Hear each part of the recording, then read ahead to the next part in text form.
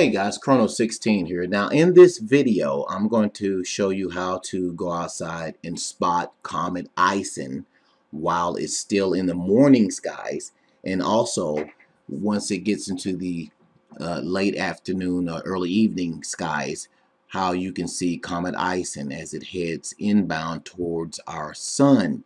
Now, what we have on screen here is, again, the program called Stellarium there's a link under this video on how to get this program for free. Just simply download it for free. Okay, very simple program to use. Now, we have it set. Now, this is the date that I'm recording this video, by the way. We have it set to the current time, which is 4.25 a.m. in the early morning. Okay, and, and I mean, I can go back an hour, but it'll obviously put Ison a little bit lower in the sky. So let's go ahead and go to about 5. Let's go ahead and go to about 5 a.m. And that'll be 6 a.m. Eastern Time, uh, 5 a.m. Central, and 4 a.m. Mountain, and uh, 3 a.m. Uh, Pacific Time. And what I have turned on here is I have the constellations and everything turned on. Now, let's say you just downloaded this program and you don't know how to use it. Okay, uh, what you want to do is, is you want to go over here to the menu area and you want to click on the configuration window. Okay, once you click on the configuration window right here, that little symbol right there, you click on programs. Now, once you first download this, if I'm not mistaken, Ison, uh, I could be mistaken about this, is not programmed into this program. So what you want to do is you want to go over to this little configuration that's lit up there. And usually when you get here, it looks like this. Okay. What you want to do is you want to go over and go to plugins and click on solar system editor. Okay. Just like that. And then you click on configure down here. Once you click on conf configure, what you want to do guys is you want to uh, import some objects. So how do you do that? You go down here and click on import orbital elements in MPC format. You click that guys. Okay. And it'll take you to this screen right here. Now once you go to this screen, I've already had Ison selected here. Um, but we're going to assume that Ison's not in here. What you normally do is you click in uh, C-2012S1 Ison. It'll find it. Once you find it on the list, you click click it right there and highlight it, put the check right there. And what you want to do is, is you want to add object. Now, if you've already gotten Ison added, this is how you update the information for Ison. You simply click on it again and add object and it updates it to the most current position that they have on it. Now, um, everything that they calculate in the, in the skies, guys, always has to be corrected because of human error. So if it updates Ison's position is only because of human error has been involved and nothing more. Nothing suspicious or strange about, about that at all. That happens all the time. Once you do all that, guys, you get out of the screen, and there's your current position of Ison. Now, let's say you're trying to look at Ison with a telescope, and you want to, and you have a handheld computer that's connected to your telescope, which most of them usually come with nowadays. Uh, you simply type in the coordinates of Ison. And uh, there are several ways to do this, guys. One way you can do it is what I'm fixing to do here now. Is I'm fixing to take you to this website. I've taken you here before in other previous videos. TheSkyLive.com. Okay? Once you calibrate your telescope, once you calibrate it, guys, you go here. This is the position of Ison.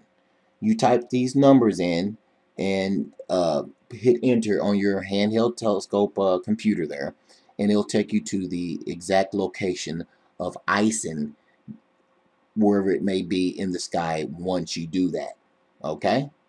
Alright it's that simple. That is if you have a go-to telescope with a connected handheld computer to it.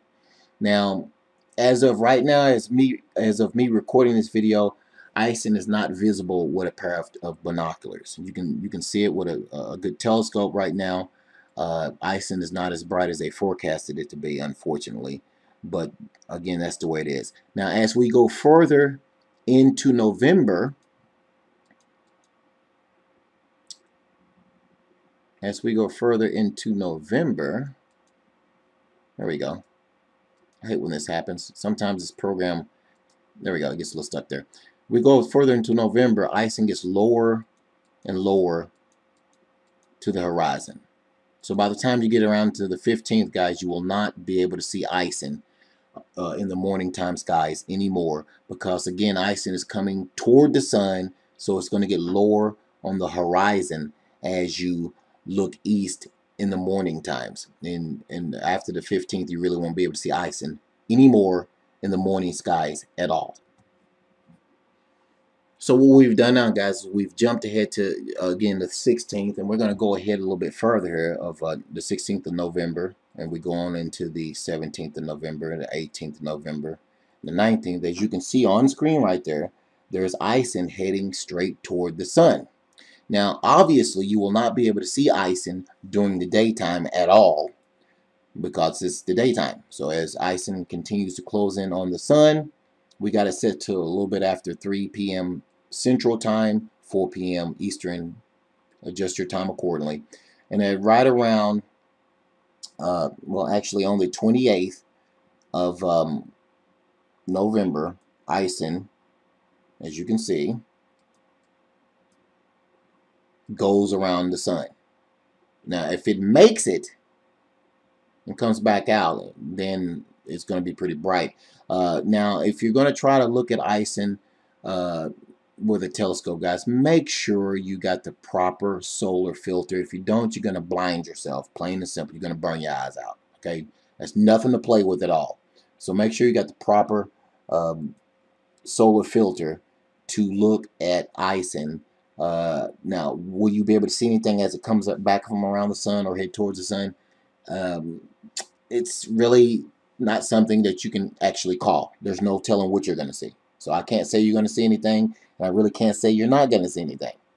Because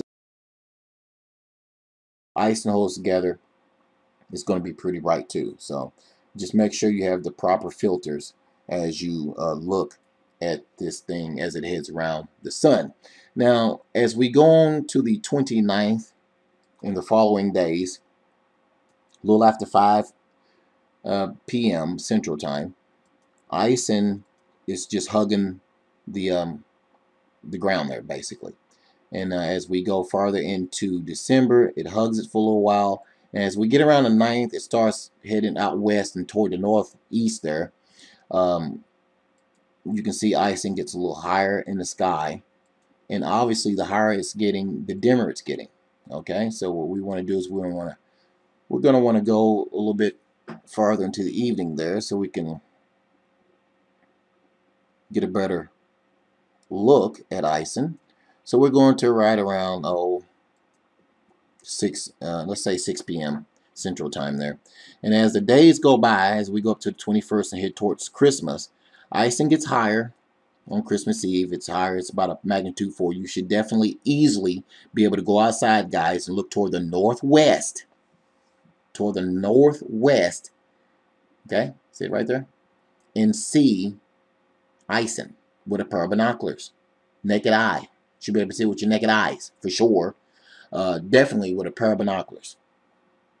As you look toward the northwest, as Ison will be very vis visible if it holds together in the northwestern sky. And as time goes on, guys, Ison gets higher in the sky and it gets dimmer as we head on into January. It gets higher in the sky, it gets dimmer. Um, we're going to go up to about 7 p.m. now. And uh, as we head out toward the next marker date, as I call it, which is the 14th to 15th of January, Ison will still be visible, definitely with a pair of binoculars, as it heads up north obviously up in the north. It starts heading higher in the sky up toward Capella. Uh, at this time, around the 15th of January, guys, we should be heading into the debris tail of Ison uh, as it was coming into the solar system earlier. We're passing that point where it was coming in at. Who knows what's going to happen, guys? I've always stated that I thought Ison was a harbinger of things to come. I will stick to that. I do firmly believe Ison is a harbinger of uh, the horrible calamities that are coming to this planet very soon. Anyway, guys, that's your guide on to how to spot comet Ison, where to look at. Very simple, guys. Just following the simple instructions I gave in this video, and you should definitely be able to see comet Ison with no problems, assuming Ison holds together and gets bright like they said it would. Anyway, guys, clear skies. Thanks for watching. God bless.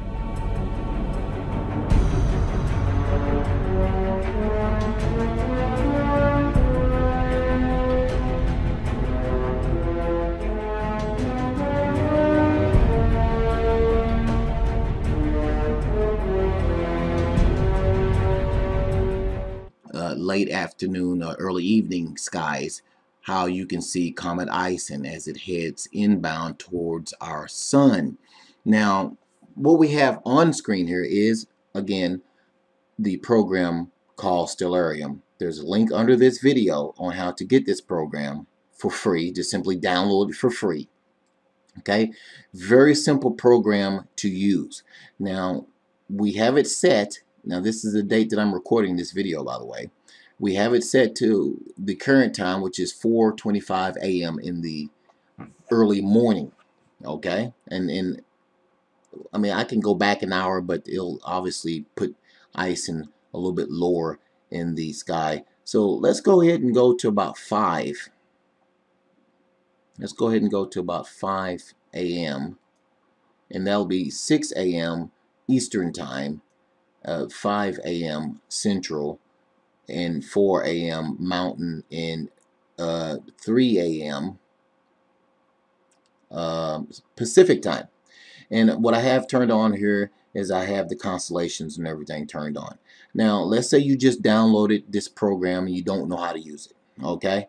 Uh, what you want to do is, is you want to go over here to the menu area and you want to click on the configuration window. Okay? Once you click on the configuration window right here, that little symbol right there, you click on programs. Now once you first download this, if I'm not mistaken, Ison, uh, I could be mistaken about this, is not programmed into this program. So what you want to do is you want to go over to this little configuration.